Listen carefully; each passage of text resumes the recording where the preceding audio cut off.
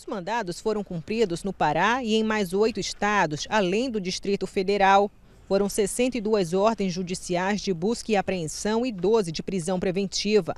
De acordo com a Polícia Federal, os investigados são suspeitos de fazerem parte de uma organização responsável pela exploração ilegal de minério nas terras indígenas Caiapó. As investigações começaram em 2020 e a polícia descobriu que o grupo agia em três níveis. O primeiro, com garimpeiros comuns que faziam a extração sem permissão e vendiam para intermediários que estavam no segundo nível. Depois, o ouro era revendido para grandes empresas que comercializavam no mercado nacional ou exportavam para outros países.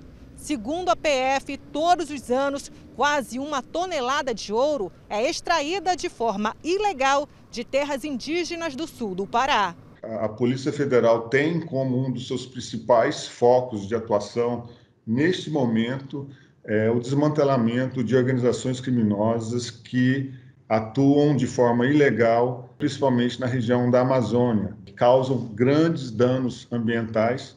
E essa operação faz parte desse conjunto de outras ações que estão sendo realizadas pela Polícia Federal para tentar diminuir é, o dano ambiental que hoje vitimiza e atinge a, a Amazônia, a floresta amazônica. As investigações também levaram a áreas de garimpos ativos com suspeita de trabalhadores em condições análogas à escravidão e que serão fiscalizadas pelo Ministério Público do Trabalho. A Justiça Federal determinou o bloqueio e indisponibilidade de quase meio bilhão de reais das contas dos investigados, além do sequestro com bloqueio de cinco aeronaves, suspensão de atividade econômica de 12 empresas e sequestro com bloqueio de bens móveis e imóveis de pessoas físicas e jurídicas, alvos da operação.